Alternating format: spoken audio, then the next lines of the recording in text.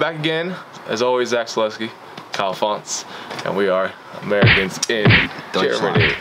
Yeah. Yeah. This is uh, gonna be kind of part of a series. Interesting. This is a good one. that- This this- isn't just how's Germany, what's this like Hey, in Germany, what do you like, what do you miss? This is actually a good one. This is how we got here. It's this is uh Yeah. this is gonna be kind of a part of a series where uh, we talk about not how we how just we ended up in Germany, but also our experiences in the countries that we cur- actually previously played in as well. So, but for right now, this is how we ended up in Germany. I want I want to just say American football players, um, and also, but it's really kind of for all all the European players and, and coaches and everything. And and trust me, a lot of the questions that I get on on these sites, I get every single day. I get asked all the time. So you guys actually will get a nice, actually really awesome, different perspective between Kyle, obviously him being a quarterback and also a current player, my, such myself as a coach who never had a chance to play over here, but over here as a coach. So you get two different perspectives, but there are two current websites uh, to send guys overseas. Is it just those two? as far as I know. If you know of any other websites, Put it down in the comment section. put it down in the comment section for football recruiting over into Europe. Yeah. Uh, number one is obviously this is a go-to for every single player. Um, A lot of teams still use it. Uh, that Mm. Is that is Euro players. Players has been around. Euro players. Euro Dot com. players. Yeah. Dot com. It's uh honestly that I don't know how long it's been around, but it's been around. Around a long time. Since- It's um, it, it you know connects you with coaches in Europe. Yeah. That's what it does. I, I think it originally started just as a football website, and then it started expanding to other sports. Because I know a couple people I talked to on there. Basketball. Play, yeah, it's, Yeah. you had basketball, you had softball, you had uh, hockey, Baseball. Baseball. I mean, Yeah, it kind of it kind of fully expanded more and more and more. Water polo, I think I've seen on there. Yeah. it's it even handball. But and it's for inter, I would say international football, but it has you know there are teams on there from everything from you know regional leagues in in Europe to NFL teams that are signed up on there um, looking for players that are international to get guys to try out and stuff. it's not just strictly uh, Europe, just European teams. I've seen CFL scouts. Yeah. uh, you'll see some Everything in between. some Mhm. sports agents that'll colleges even look around yeah, division three schools beyond there uh, Mm-hmm. high schools like private schools who are trying to get european players over to the schools and no i take this back before i even came to germany i'm not kidding when i say this because i looked this up um, there was a talent recruiter from the wwe because they, they're trying to recruit like ex-football players and then turn them into wrestlers i swear to god it was it was the weirdest thing my eyes perked up like i'm coming out of retirement i want to be a wrestler I'll be a wrestler. but that's just kind of the thing that you see on there. It's just a hodgepodge of. Yeah, there's there's things. some there's some other things, but if it's legit, Yeah. okay, is what we're saying. Is at the end of the day, um, those teams on there are real. Um, you do have to watch for teams that there's no history on. Obviously, do your research on every every team. You know, if you're in an established league, you know Germany, Italy. Uh, Austria, yeah, eh, Switzerland. I mean, there's there's a there's Yeah. so many. Um, France, um, the UK has a small one. Um, Spain, you know, they all have their own established leagues. What I would recommend to do is to um, is to pay the monthly fee. I would say the three months at least, three to six months at least, um, and that way you get unlimited access to messaging. Um, and just go in there and, and message as many coaches as you want. You know, put in your skills, your talents, you know, your intangibles, um, and then a direct link to your, your highlight tape. Um, but that's the biggest thing about getting over here is is you got to have film um, if you're a Yeah. player. The, the big thing is whenever you sign up, to kind of add on what Kyle said, but whenever you sign up, uh, it's obviously a free account. Uh, I think you get like two pictures you can post on there, and uh, I think you can also put your Uh, link one, up to yeah, one Hudl link Hudl link on, on or there. YouTube link. And then it's gonna ask you a couple questions like, you know, you know, what are your demands as a player, all that stuff, and then you can type out your bio. But I think your daily viewing amount, if I'm right, I think it's like maybe eight profiles you can look at. Mm-hmm. But I know it's a little bit steep, but every now and then, whenever I get paid from these teams, I usually, you know, you know, When you're over here, it's all worth it. Yeah, when you're over here, it's all worth it. I mean, but sometimes you have to swallow your pride a little bit and say, and say, you know what, I'll pay the sixty bucks for what uh, six, Six months. months, yeah. And honestly, it's worth it because you can look at, at and also message as many people as you want, no problems at all. That first paycheck typically is going to pay for all that anyway.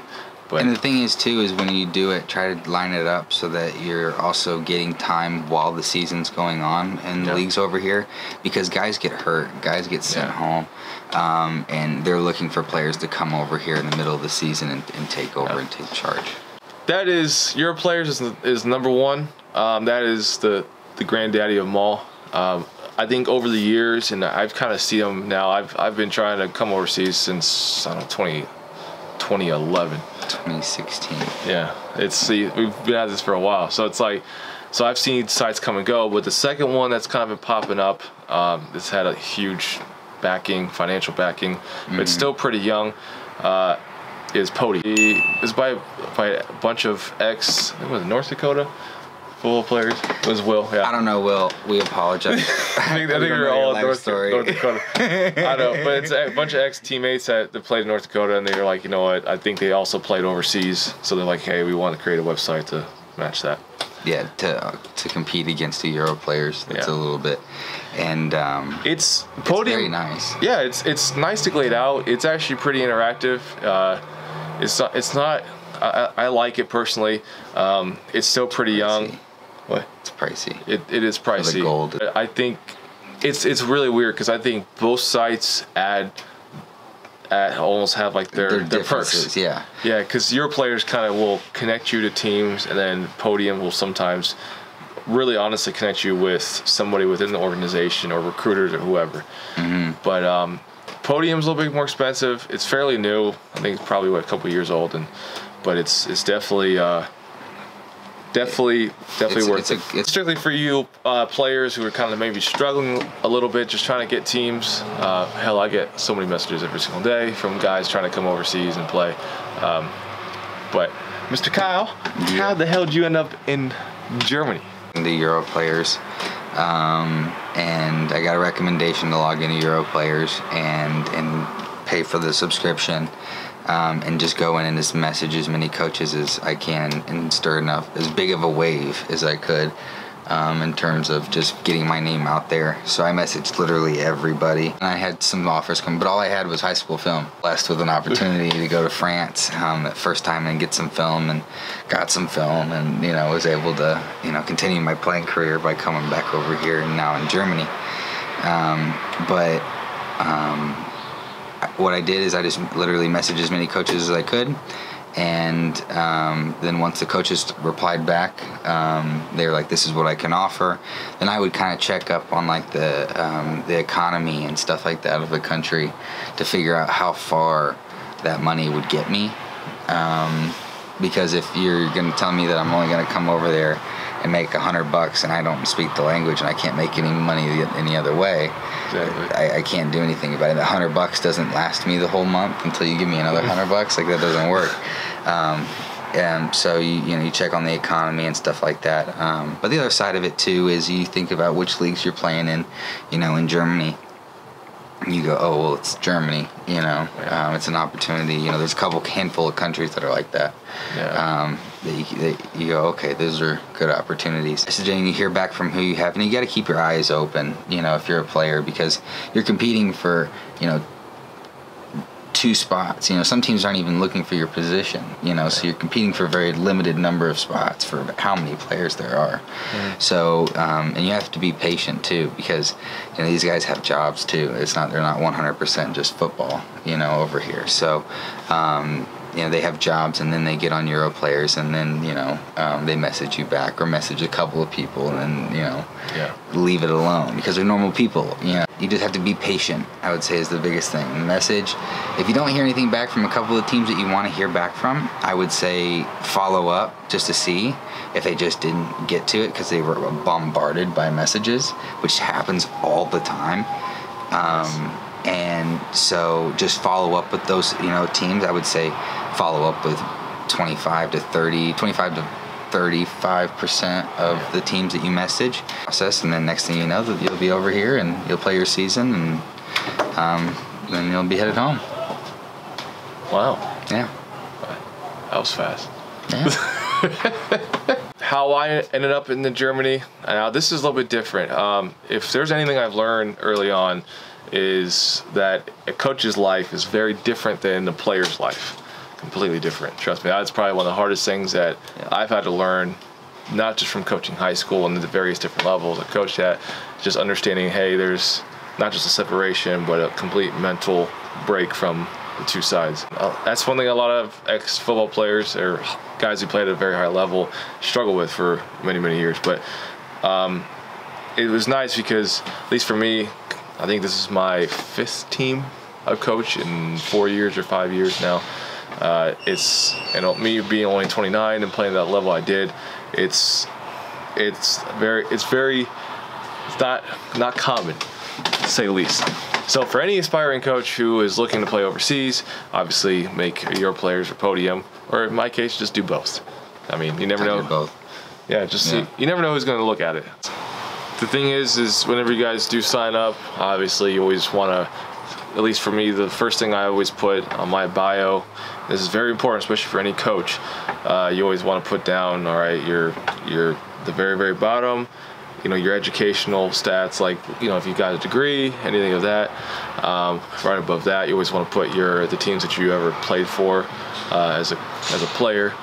Uh, that, that means from high school, college, or even professional. And then from there, you start going in chronological order, um, your experiences as a coach, and so on, and obviously your accolades and what you've done uh, as a coach. But the thing is that's so important, at least for me, um, how I ended up over here. Just like Kyle said, your name is basically everything. I mean, it's, if you have one good season with one team and you completely turn them around, or whatever the case may be, if you end up becoming successful, that's going to stick with you. And the next If thing you know, if you're a winner, I started out a winner. I, uh, I, my journey is a little bit different. Uh, I was coaching in high school for, it was a two years in 2016 and 17, and I was trying to come overseas. I think the first time I almost went to uh, the Czech Republic, and then that fell through.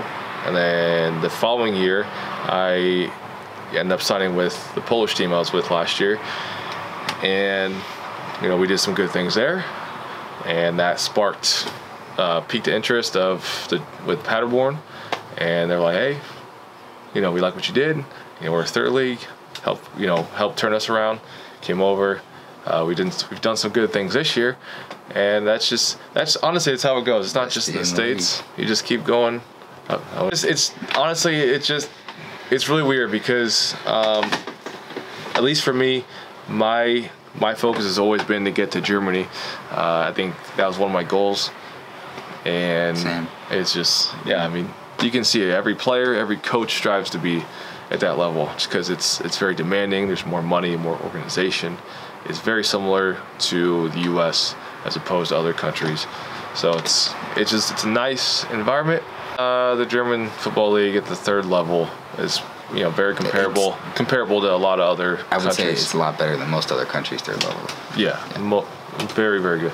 The only one that can compete with with Germany is Japan, in my opinion. Yeah. Japan, freaking crazy, nuts. I haven't. I don't even know how to get to Japan.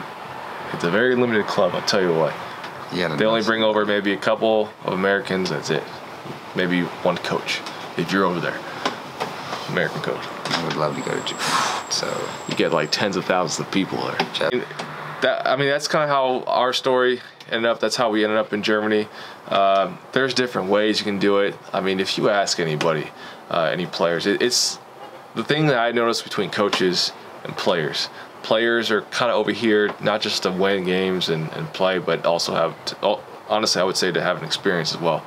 So for them, they're not really worried about going from you know say Germany to Italy to Sweden to you know Switzerland. They they just they want to have that experience uh, with their teammates and everything, as opposed to coaches. Coaches are, are truly one of those one of those guys where you just kind of want to work your way up from whatever level you start at and kind of work your way up to big to bigger and better teams if you can. That is our experiences of how we ended up. Actually, that's how we ended up in Germany from experience of a player yeah. and coach. and if you guys have any questions um, about how we did it, um, or Yeah. w- if you're not hearing back from people, or um, you know what the deal is, um, message us. Yeah. Message one of us. We you got our and you know social medias and stuff. So social media, even the comment section. If you guys have questions, because I only have limited numbers of Yeah. messages I can read on Euro players. yeah, do do it on Instagram. don't or- or don't be that guy where I have to click on it and be like, You're oh, like, hey, I go saw your use one. videos on Euro players. They're like, dude, why? I Just had message see- us on. Instagram or anything else. Yeah. Our social at the bottom. Yeah. Not in the video, but in the bottom. Maybe, maybe putting the. I don't know. Conflicted.